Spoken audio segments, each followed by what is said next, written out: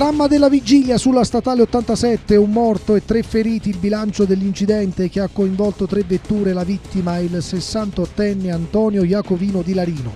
Tragedia sfiorata a Campo di Pietra per lo sversamento di idrocarburi in un pozzo di una casa poi evacuata, chiuso un distributore, una donna si sente male. Troppe disuguaglianze sociali anche in Molise a Natale il monito ai politici dell'arcivescovo di Campobasso Boiano Giancarlo Maria Bregantini nel TG gli auguri di Marciano Ricci. Il villaggio di Natale e la sua magia accoglie cioffi, stili, suoni e personaggi tipici del mondo anglosassone. A Montaquila il 30 dicembre Babbo Natale scenderà dall'elicottero. Infine allo sport il calcio di Serie D. Isernia penultima ma soddisfatta dopo il pari col Matelica. Silva elogia la squadra. L'Agnonese riflette sugli errori. Ricciardi suona la carica. Bentrovati, bentrovati e buon Natale a tutti. In apertura l'avete sentito dai nostri titoli, c'è la cronaca, il dramma della vigilia, un incidente stradale ieri sera sulla statale 87, un morto e tre feriti, la vittima è il 68enne Antonio Iacovino, sul posto per noi c'era Giovanni Cannarz. È di un morto e tre feriti il tragico bilancio di un incidente stradale che si è verificato ieri sera sulla statale 87 che collega Larino con Termoli. A perdere la vita Antonio Iacovino, 68enne del centro frentano, viaggiava in direzione di Termoli quando intorno alle 18.30 per cause al vaglio di polizia e carabinieri la sua Lancia Y avrebbe urtato una Opel Station Wagon che lo precedeva e nell'altro senso di marcia viaggiava un SUV che non è riuscito a schivare la lancia. L'impatto è stato violentissimo ed Antonio Iacovino è morto quasi sul colpo. Sul SUV di colore rosso viaggiavano quattro persone, marito, moglie e due figli, che dopo lo schianto sono terminati in una cunetta a bordo strada. Gli automobilisti di passaggio hanno subito lanciato l'allarme. Sul posto insieme alle forze dell'ordine si sono portati i vigili del fuoco da Termoli, il personale medico del 118 e le ambulanze dei volontari della Croce San Gerardo di Larino e quella dei volontari della Croce Croce Padre Pio di Santa Croce di Magliano insieme al personale dell'ANAS. L'incidente stradale è avvenuto al chilometro 200 più 700 quasi al bivio per Ururi. Nulla si è potuto per salvare la vita d'Antonio Iacovino, al loro arrivo i sanitari ne hanno potuto constatare solamente l'avvenuto decesso. Illeso ma molto provato il conducente della Opel, tra invece i feriti che stavano sul SUV. Sono stati medicati sul posto e poi trasferiti all'ospedale Santimotio di Termoli, dove gli accertamenti del caso hanno escluso gravi complicazioni. Per ricostruire la dinamica dinamica dell'accaduto sono adesso al lavoro gli agenti della stradale di Termoli, i carabinieri di Larino, forse la pioggia battente, l'asfalto viscido, forse un malore oppure una disattenzione. Tutti elementi al vaglio degli inquirenti, non escluso che per andare in fondo alla vicenda possa essere anche disposta l'autopsia sul corpo dello sfortunato 68enne di Larino nelle prossime ore. La notizia si è diffusa subito in paese, lanciando nello sconforto parenti ed amici che proprio in quel momento si preparavano a festeggiare la vigilia del Santo Natale. La strada statale 87 è stata chiusa in entrambe le direzioni fino a tarda notte per permettere le operazioni di soccorso e per sgombrare il manto stradale dai detriti delle tre autovetture. Ancora la cronaca, distributore di benzina chiuso e un'abitazione evacuata, tragedia sfiorata a Campo di Pietra, vigili del fuoco di Campobasso in azione anche questa mattina. Vediamo i dettagli nel servizio. Questa casa sarebbe saltata in aria se uno dei componenti della famiglia che vi abitava avesse acceso la luce. Sarebbe esplosa perché il locale dove è ubicato il pozzo era saturo, pieno di carburante, penetrato nella falda freatica di tutta Campo di Pietra.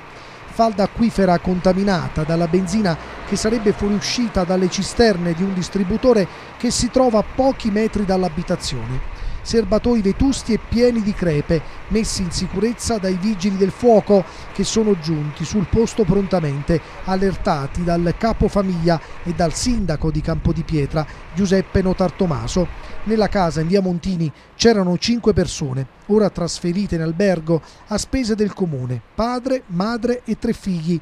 Per la donna un inizio di intossicazione da idrocarburi, per fortuna ora sta bene, mentre l'uomo ha provveduto ad allertare i soccorsi e a mettere in sicurezza la famiglia.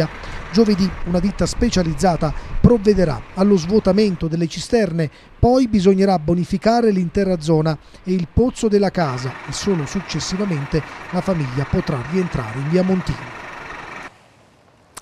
Ed ora apriamo la pagina, l'ampia pagina dedicata al Natale con un eh, messaggio di auguri molto speciale. I'm dreaming of a white Christmas.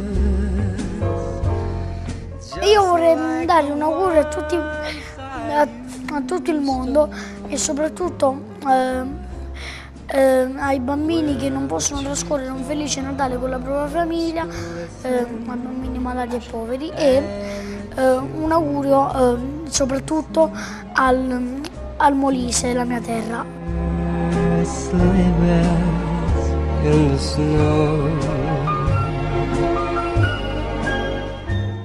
Volevo dare un augurio di buon Natale e di buon anno a tutto il mondo, diciamo, a tutti gli italiani i molisani e il mio paese. Tengo al Molise e alla mia terra e a Montacoli dove sono nato e vivo. E con tutto questo qua mi auguro che nei prossimi, prossimo anno sia meglio di questo, di quest'anno, che ormai sono dieci anni che viviamo una crisi profonda, tutta l'Italia. Di cui auguri a tutti.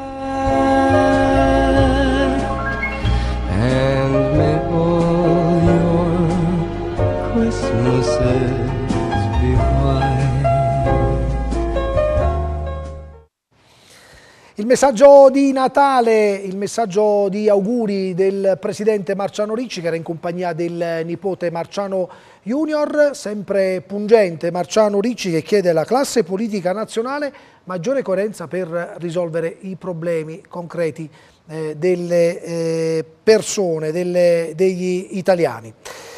E il Natale è anche un eh, momento di riflessione per il eh, vescovo di Campobasso, Boiano Giancarlo Maria Brigantini. Eh, ci sono troppe disuguaglianze sociali, lo abbiamo intervistato questa mattina, vediamo il servizio. Un'insaziabile ingordigia attraversa la storia umana fino ai paradossi di oggi, quando pochi banchettano lautamente e troppi non hanno pane per vivere. Lo ha detto Papa Francesco nel corso dell'omelia per la messa della notte di Natale, presieduta nella Basilica Vaticana. Riflessioni condivise dall'arcivescovo di Campobasso Boiano Giancarlo Maria Bregantini a margine della messa di Natale di stamattina nella chiesa di Santa Maria della Croce in pieno centro storico. Una disuguaglianza sociale che anche in Molise è sempre più evidente. Sì, c'è chi ha due lavori, c'è chi non ne ha. Come dice Giovanni Battista, chi ha due tuniche ne dia una a chi non ne ha. Purtroppo viviamo questa differenza sociale, soprattutto nei confronti di chi nella vita fa più fatica. Ci sono come delle figure, delle pesantezze, specialmente le periferie. Io sono stato in una strada, di un quartiere popolare e veramente vedi la precarietà anche quest'anno, no? però vedi anche tanta gente coraggiosa, tanti volontari, tante persone che hanno speranza, che danno speranza e quindi questo Natale parte proprio da qui.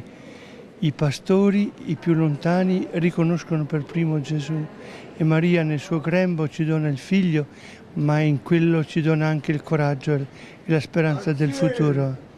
Dio ci benedica veramente, auguri a tutti i molisani, auguri a tutte le persone in difficoltà perché sia un Natale di luce e di coraggio.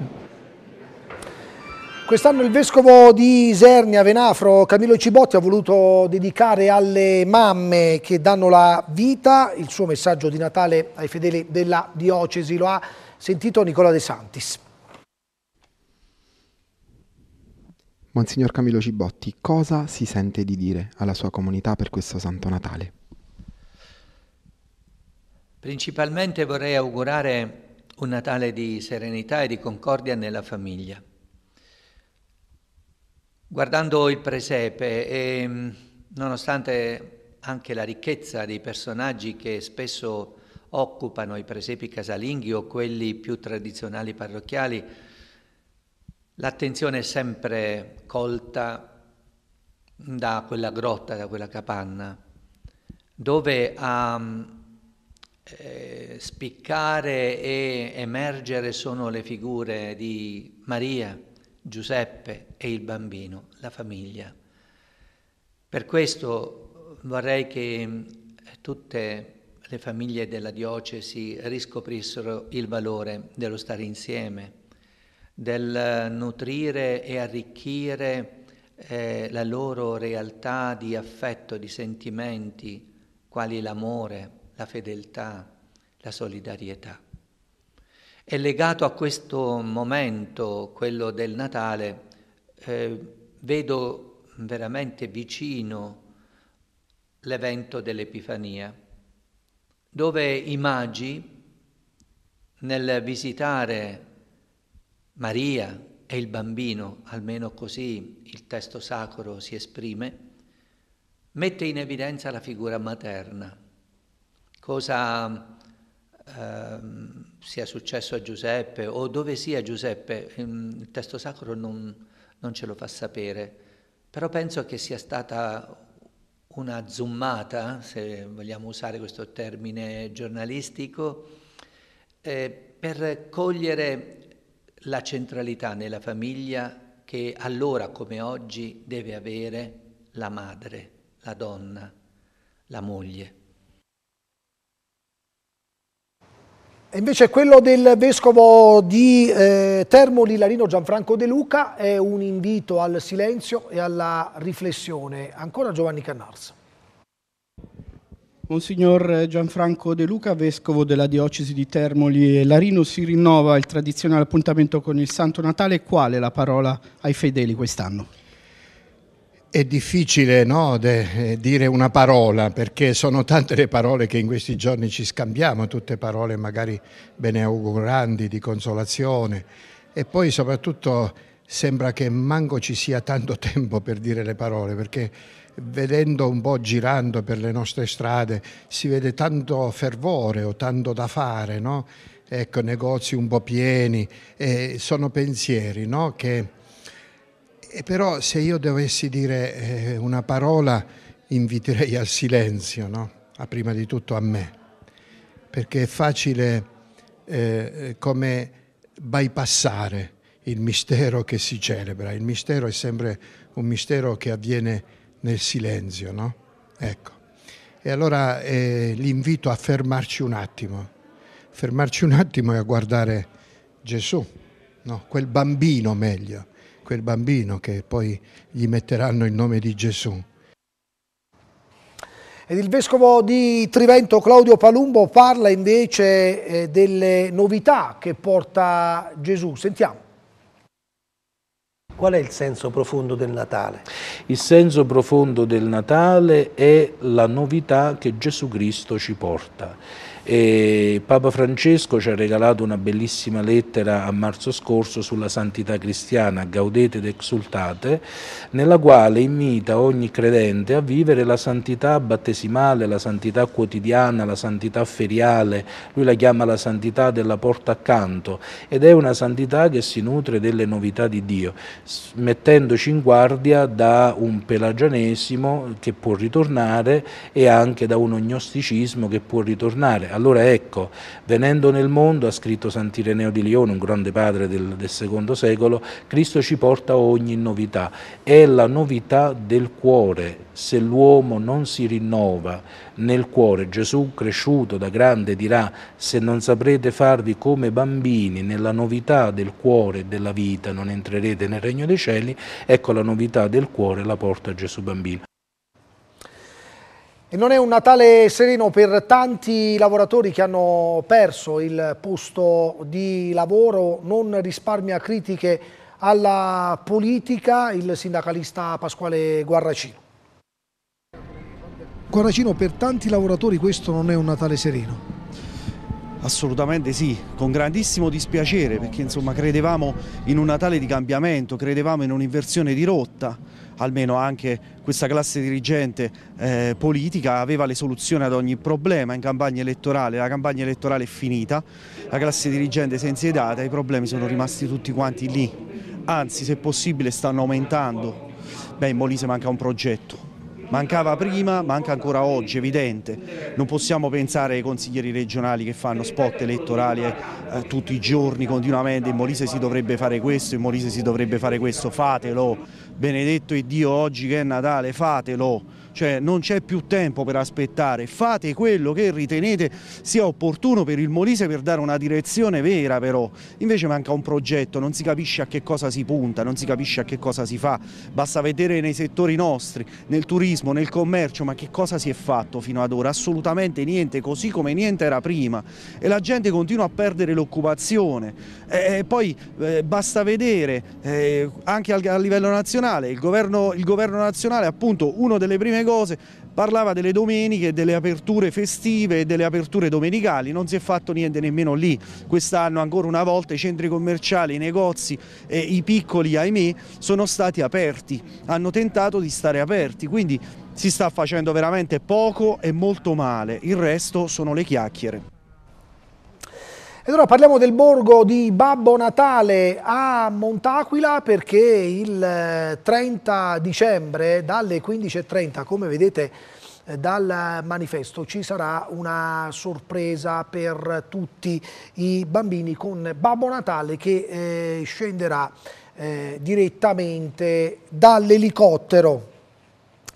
E a Colle Cioffi, su iniziativa della dottoressa Daniela Angiolilli, è possibile ammirare un meraviglioso villaggio di Natale che riproduce stili, suoni e personaggi del mondo anglosassone. Siamo andati a visitarlo con le nostre telecamere.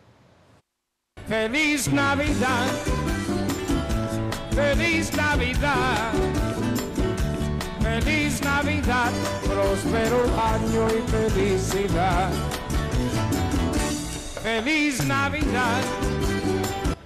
Il villaggio Lemax è un vero e proprio must per gli amanti del genere. Collezionisti di tutto il mondo con maestria ed edizione ricreano atmosfere tipiche del mondo anglosassone con l'inserimento delle più svariate forme e di molteplici colori. Nel villaggio Lemax trovano ospitalità numerosi personaggi con diverse ambientazioni. Il mare, il mondo di Babbo Natale, il Luna Park, il paese con la stazione ferroviaria e l'immancabile trenino. Un vero e proprio mondo in miniatura che riproduce le atmosfere dei giorni di festa. Un hobby per gli appassionati che richiede passione e soprattutto tempo anche a Isernia, su iniziativa di Daniela Angiolilli, dottoressa specialista in medicina estetica, è nato da qualche anno un villaggio Lemax a Colle Cioffi, un mondo incantato che si arricchisce ad ogni Natale di nuovi particolari, con personaggi ed edifici in movimento accompagnati da dolci melodie che si fondono per rendere magica l'atmosfera natalizia. Allora, quest'idea è nata circa tre anni fa, eh, io sono un'appassionata di decorazioni soprattutto natalizie e quindi navigando su internet eh, sono capitata casualmente in, uh, in, questi video di villaggi natalizi eh, che vengono realizzati soprattutto nei paesi anglosassoni, anche se ultimamente diciamo, si sta diffondendo anche da, anche da noi e quindi ho deciso di, di iniziare a realizzarli oltre al tradizionale presepe e, e quindi eccomi insomma questo è il lavoro che ho realizzato dopo al mio terzo anno. Come nasce la struttura? Quali materiali hai utilizzato? Allora, la struttura è molto semplice, si possono utilizzare diversi tipi di ripiani. Io ho utilizzato un tavolo e delle tavole su dei cavalletti. Poi viene tutto rivestito con cartoncini o con um, la carta roccia e ehm, della neve finta che è diciamo, una specie di, di, ovatta che va a rivestire tutta la struttura e i cavi elettrici che alimentano le, le varie casette. Quest'hobby quanto tempo ti porta via? È abbastanza tempo, io sono partita dalla, da quest'estate e il lavoro vero e proprio è partito da fine ottobre fino al, all'8 di dicembre quando poi ho acceso tutto c'è dietro anche un lavoro di ricerca dei, dei materiali, delle forme da utilizzare una ricerca costante, continua dei, dei materiali, eh, delle varie scene da, da, rappresentare, dei personaggi da introdurre, ehm, personaggi che alcuni rappresentano anche la, la, mia vita e quindi ho voluto introdurre nel, nel mio villaggio. L'obiettivo è di ampliare questo villaggio? Sicuramente di ampliarlo e di magari dedicare una stanza in cui viene lasciato lì per tutto l'anno e quindi senza continuamente smontarlo. Feliz Navidad, Feliz Navidad, Feliz Navidad, prospero año y felicidad. Feliz Navidad, Feliz Navidad. Navidad, próspero año y felicidad.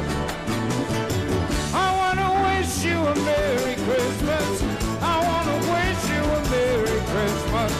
I wanna wish you a Merry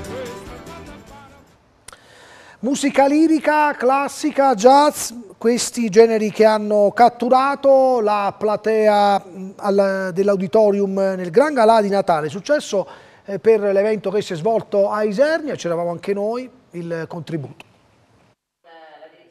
Consensi e applausi per la seconda edizione del Gran Galà di Natale. All'Auditorium Unità d'Italia di Isernia il concerto organizzato per la seconda edizione dai direttori artistici Simone Sala e Paolo Bartolucci ha spaziato come di consueto tra vari generi, dalla classica al jazz, dalla lirica al pop, mettendo in mostra le qualità di artisti molisani che con sacrificio e impegno sono riusciti a scalare il mondo della musica, arrivando a esibirsi in decine di paesi del mondo, oltre che in prestigiosi teatri italiani italiani. Ad aprire la serata l'ospite Alberto Firrincieli, docente musicologo che con il suo clavicembalo ha eseguito il concerto 1052 di Bach, accompagnato da un ensemble d'archi diretto dal noto maestro e compositore Claudio Luongo, anche lui motore dell'evento.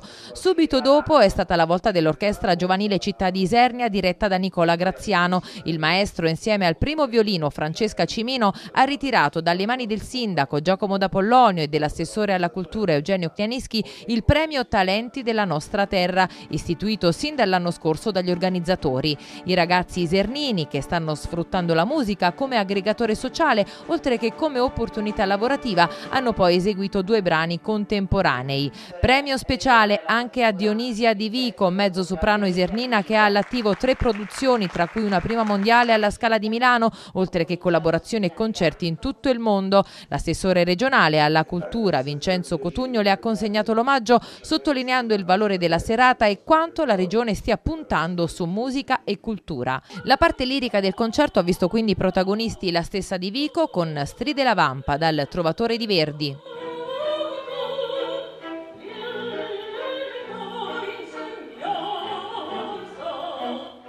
Bartolucci, per lui vent'anni di carriera e tanti concerti con i Pagliacci e la mattinata di Leoncavallo.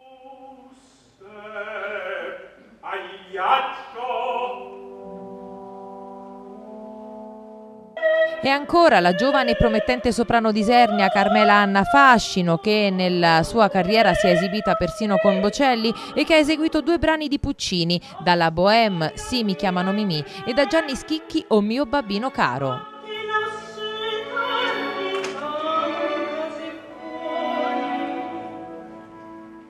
Dalla lirica al jazz con Simone Sala che reduce dall'ennesima tournée è stato accompagnato dall'Orchestra del Sannio nella famosissima Rapsodia in blu di Gershwin.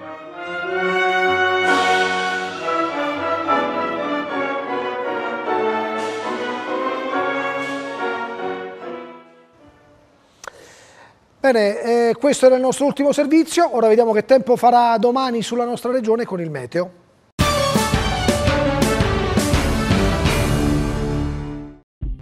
Previsioni del tempo di mercoledì 26 dicembre. Si rinforza l'alta pressione a garanzia di una fase più stabile, cielo pertanto sereno, poco nuvoloso, temperature senza particolari variazioni, contesto ancora freddo, ventilazione tesa, mare molto mosso. Ecco le temperature sui maggiori centri della regione. Campobasso minima 0, massima 7 gradi, Isernia meno 1,10, Termoli 2,10, Venafro 3,11. Bene, tutto per questa edizione, ancora buon Natale, grazie per averci scelto, ma restate con noi perché tra pochissimo c'è la pagina sportiva.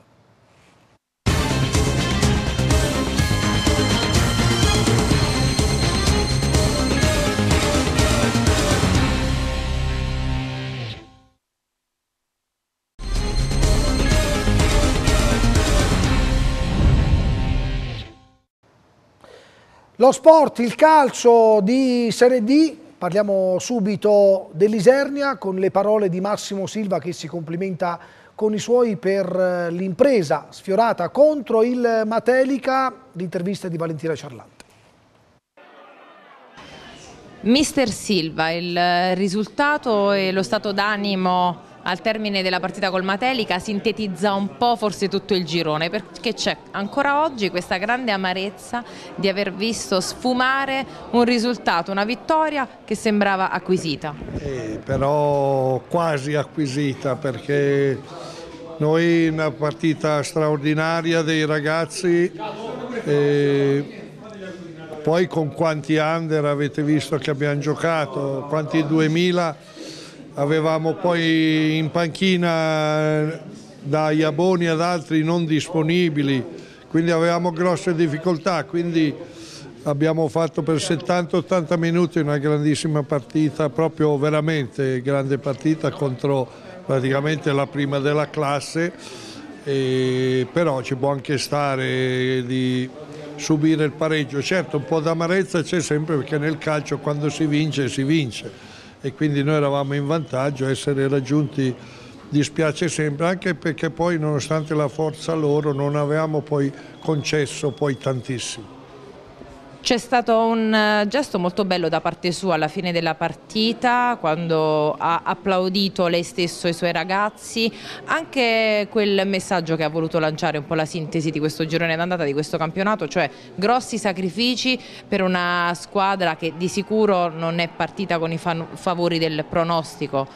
Sì, devo dire che in questo senso si impegnano proprio in maniera grandiosa anch'io eh, non mi fanno perdere entusiasmo perché chiaramente quando vedi squadre come quella di oggi avversari e tu che hai insomma tutti questi giovani qualche problemino un po', un po dispiace però sono d'accordo con la società.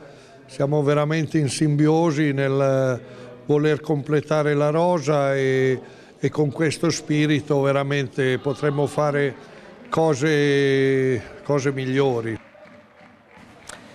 E ora le parole del centrocampista dell'Olimpia Agnonese Luca Ricciardi, intercettato durante la festa che si è svolta in Alto Molise nei giorni scorsi. A proposito della festa, giovedì nel corso di Molise Sport un ampio eh, speciale eh, sull'evento. Intanto sentiamo Ricciardi, un Agnone che deve riflettere per potersi salvare.